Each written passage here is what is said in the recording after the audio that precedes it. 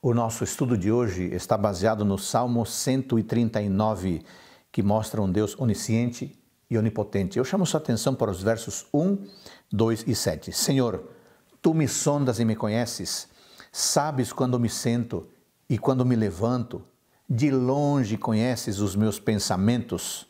Verso 7. Para onde me ausentarei do teu espírito? Para onde fugirei da tua face? Ao ler este lindo salmo, Deus quer que saibamos que Ele é onisciente, Ele é onipresente, Ele é onipotente, Ele sabe todas as coisas, Ele pode todas as coisas, Ele está presente em todos os lugares. Esse é o nosso Deus. Deus quer que sintamos perplexidade, que sintamos assombro diante do seu poder, diante do seu poder criador. E Deus espera que façamos isto, que tenhamos um relacionamento com Ele de plena confiança pois Ele nos conhece mesmo antes de nós nascermos. Não é maravilhoso?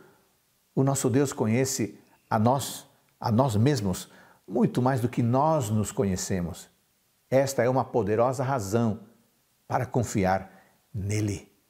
Desfrute de um dia abençoado por Deus.